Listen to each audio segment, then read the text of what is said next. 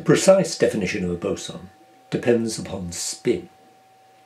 And then that includes things which we think of as particles, things like mesons, even atoms, those atoms with an even number of protons and neutrons. In this description now, I'm going to concentrate upon elementary bosons. These are exchange particles, or sometimes called gauge bosons. One way to think of this is that fermions make up the particles of everything around us, of the whole universe. Whereas gauge bosons are the glue that stick them together.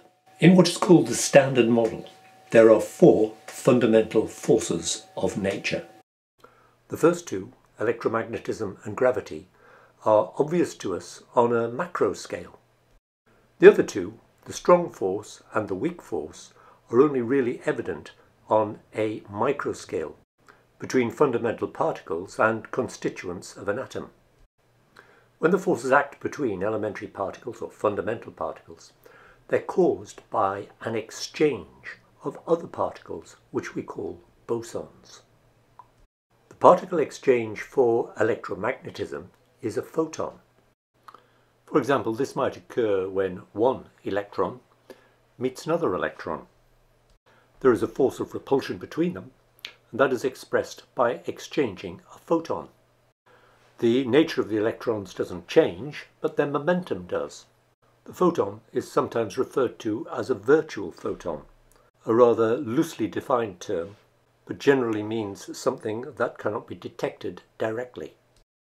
This sketch is of a Feynman diagram, where time progresses vertically and space horizontally, but without any scale.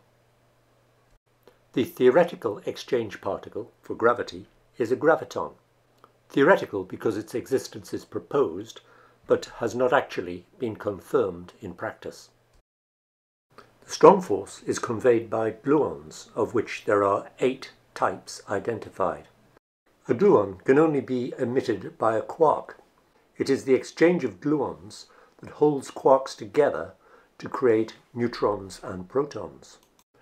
The weak force by three possible bosons, W plus, W minus, and the Z boson. The weak interaction is often involved in radioactive decay.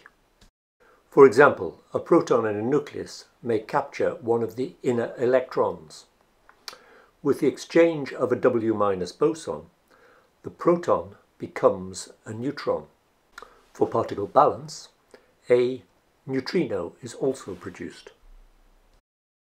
There are notes and further videos on the website. The link is here. Thank you for watching.